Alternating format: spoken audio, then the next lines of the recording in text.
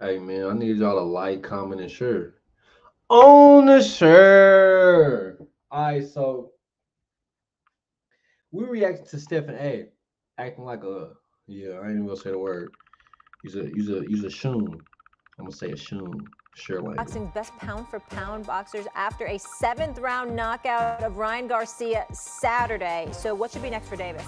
Well, listen, who knows because you got to see Devin Haney fight Lomachenko um, and stuff like that. But he's the owns he owns the lightweight division. He's the face of boxing right now because Terrence Crawford and Errol Spence Jr. won't get in the damn ring against one another. Obviously, uh, Tyson Fury already dealt with Deontay Wilder. We get all of that. But here's my biggest thing.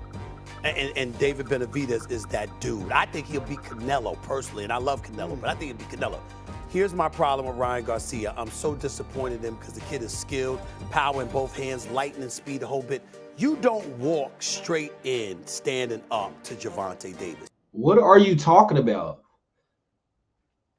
So y'all just gonna skip the hydration clause. Like I react to this on purpose.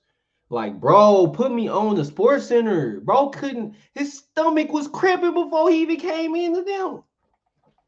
You're the longer, slimmer fighter. You stay away, you use your jab, you use your jab, and you move. He came in there trying to knock Gervonta out with a point to prove.